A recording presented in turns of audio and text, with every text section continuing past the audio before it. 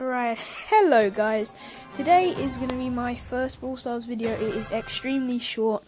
We will be doing some more. It's just so this is interesting. This is a replay of this video is going to be how to win in Brawl Stars, like with Darryl, because I love shotgun brawlers.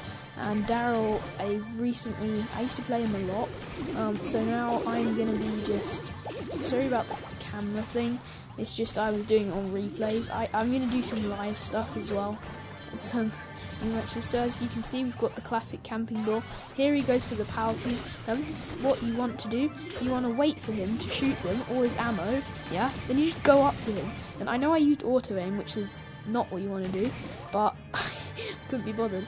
So then you get, you can get like five power cubes. And there's a bot, so I'm going to run away so that the Colt gets the bot because you want to feed those bots to people. Then I fought a Bibi up here and got her, and that's seven power cubes. You to greed these power cubes. Let people get boxes, then just creep up on them. So as you can see, there's a Rico. I know he's four power cubes. He's extremely vulnerable. A couple hits and he's down. Ah, there's a Shelly as well. So uh, you got to be cautious of the Shelly. Like never, he really just used.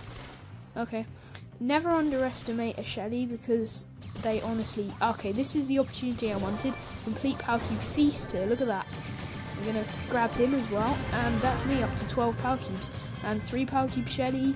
Easy, easy win, man. I've already won. So I'm gonna go get the bot. I'm gonna get this bot here, right? Because I just want more Power Cubes. I'm probably just gonna let the Shelly fight her actually. Yeah, and then I can just roll and obviously get the kill.